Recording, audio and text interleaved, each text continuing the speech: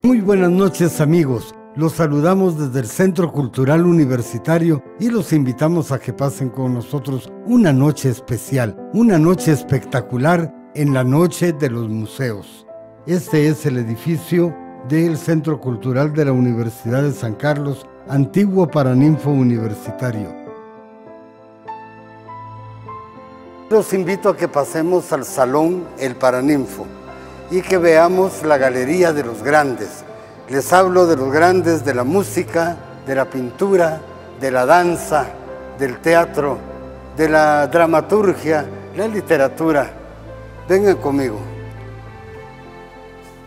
Miguel Ángel Asturias Rosales, 1898-1974. Poeta, narrador, dramaturgo, precursor de la renovación de la técnica narrativa y del realismo mágico. Fundó y dirigió la Universidad Popular. Obtuvo el Premio Lenin de la Paz y el Premio Nobel de la Literatura.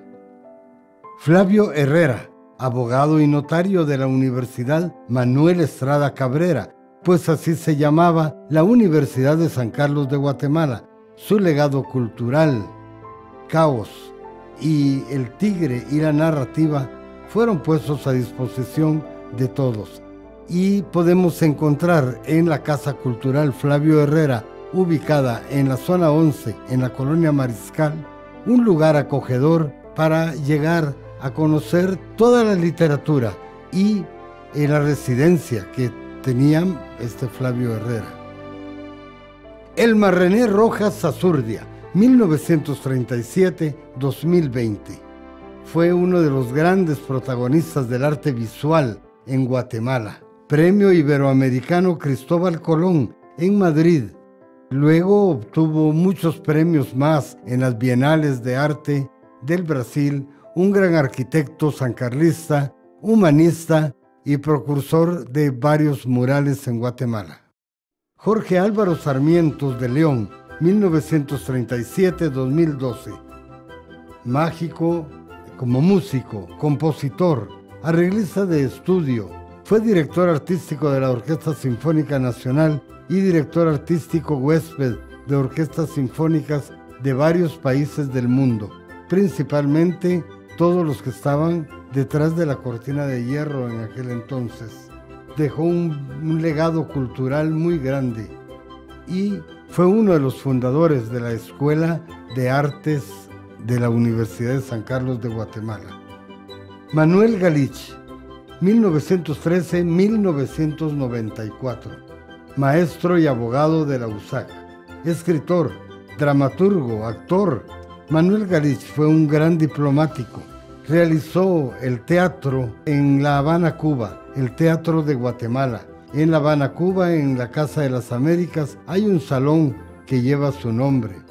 Eh, uno de los grandes trabajos que realizó como ministro de Educación fue proseguir y realizar la firma de la autonomía universitaria. Hugo Carrillo, 1929-1984. Dramaturgo, director teatral, destacado, escritor y gestor cultural. Como escritor realizó La herencia de la Tula, eh, de la Rueda de la Mortaja, El Señor Presidente, La Chalana, obras que eran novelas y que él las pasó a la dramaturgia. Joaquín Orellana, 1930, compositor, músico, violinista y compositor de lo que llamamos el realismo mágico en la música de este escritor que ha innovado la marimba, a través de sus conocimientos y que existe un museo de él en el Centro Cultural Miguel Ángel Asturias. Manolo Gallardo, 1936-2021. Pintor, escultor, dibujante, retratista guatemalteco, emeritísimo por la Universidad de San Carlos de Guatemala.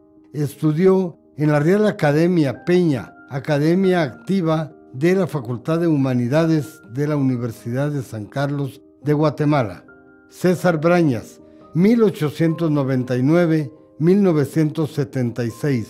Poeta, ensayista, periodista, crítico literario, su residencia, su biblioteca con más de 41 mil libros fue donada y fue adquirida por la Universidad de San Carlos a cambio de un precio meritorio que se arregló con los familiares, los deudos del señor César Brañas. Actualmente esta biblioteca funciona durante el día y tiene todos los libros digitalizados para que ustedes puedan llegar a la avenida Elena.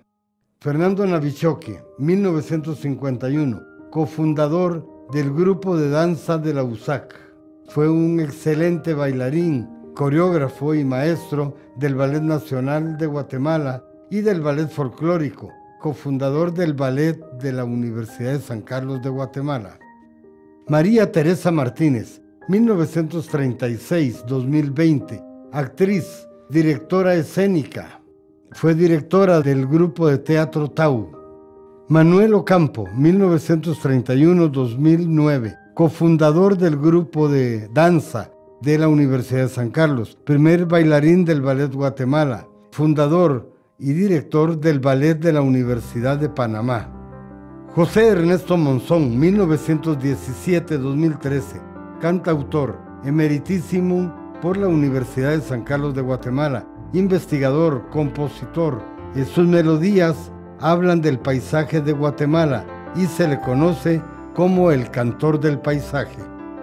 Efraín Recinos, 1928-2011, ingeniero, ebanista, pintor, muralista, diseñó y ejecutó el complejo del Centro Cultural eh, Miguel Ángel Asturias y el gran teatro que lleva su nombre, Efraín Recinos, así como el pequeño teatro de cámara que lleva el nombre de Hugo Carrillo. Víctor Hugo Cruz, 1938-2019. Perteneció al Teatro de Arte Universitario. Fue dramaturgo, fue director, eh, fundador de la ESA. y también participó eh, y, fundó el grupo de teatro Los Comediantes de la Municipalidad de Guatemala.